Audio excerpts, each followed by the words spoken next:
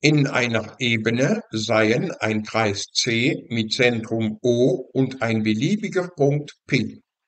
Klein a, eine Variable Gerade d, die O enthält, schneidet C in zwei Punkten D und E. Beweise, dass der Wert des Skalarprodukts der Vektoren PD und PE konstant bleibt, wenn d variiert. Klein b, eine Variable Gerade d', die p enthält, schneidet C in zwei Punkten M und N. Beweise, dass der Wert des Skalarprodukts der beiden Vektoren Pm und Pn konstant bleibt, wenn d' variiert. Hier ist ein Kreis C mit Zentrum O und ein beliebiger Punkt P in der Ebene. Hier ist die Variable Gerade d, die das Zentrum des Kreises enthält. Diese Variable Gerade schneidet den Kreis C in den zwei Punkten D und E. Nennen wir klein r den Radius des Kreises. Um das Skalarprodukt zu berechnen, das hier gefragt wird, können wir beide Vektoren PD sowie auch PE anhand der Formel von Schal zerlegen in Differenzen von jeweils zwei Vektoren mit demselben Ursprung. Als gemeinsamen Ursprung wählen wir den Punkt O. Hier können wir die doppelte Distributivität des Skalarprodukts gegenüber der Vektorenaddition anwenden und erhalten somit diese Summe. Schauen wir den ersten Term. OD Skalar OE.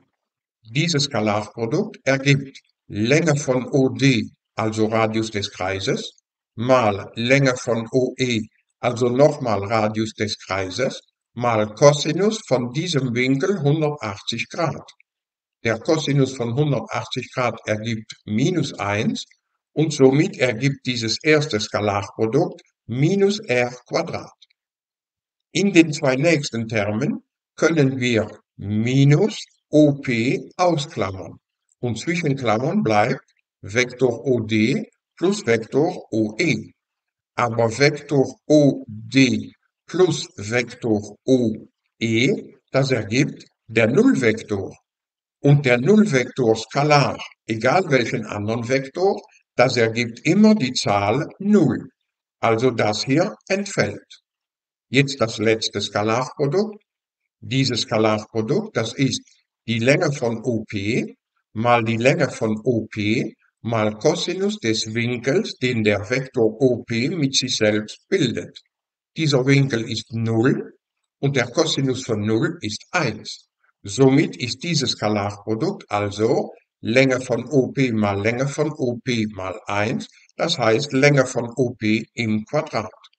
Das gefragte Skalarprodukt ist also gleich zu Länge von OP im Quadrat minus Radius des Kreises im Quadrat und diese Differenz ist unabhängig von diesen zwei Punkten D und E, also ist diese Differenz unabhängig von dieser Geraden D.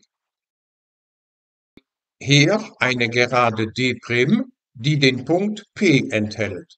Diese Gerade D' kann variieren.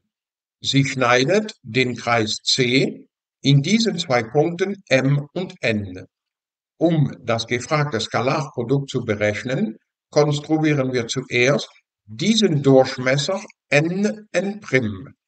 Da n n' ein Durchmesser des Kreises ist und der Punkt M auf dieser Kreislinie liegt, wissen wir, dass der Winkel n' m n ein rechter Winkel ist und demzufolge ist dieses Skalarprodukt genau dasselbe wie dieses Skalarprodukt, denn die orthogonale Projektion von Pn' auf Pn, das ist dieser Vektor Pm. Also sind diese zwei Skalarprodukte gleich. Und ab hier können wir genauso arbeiten wie in klein a. Das heißt, zuerst zerlegen wir diese beiden Vektoren in Differenzen von Vektoren mit demselben Ursprung O, dann wenden wir die doppelte Distributivität an berechnen diese einzelnen Skalarprodukte, indem wir in den zwei mittleren minus OP ausklammern und somit finden wir, dass auch dieses Skalarprodukt gleich ist zur Differenz von Abstand zwischen O und P im Quadrat minus Radius im Quadrat. Und diese Differenz ist effektiv unabhängig von d', weil sie unabhängig von m und n ist.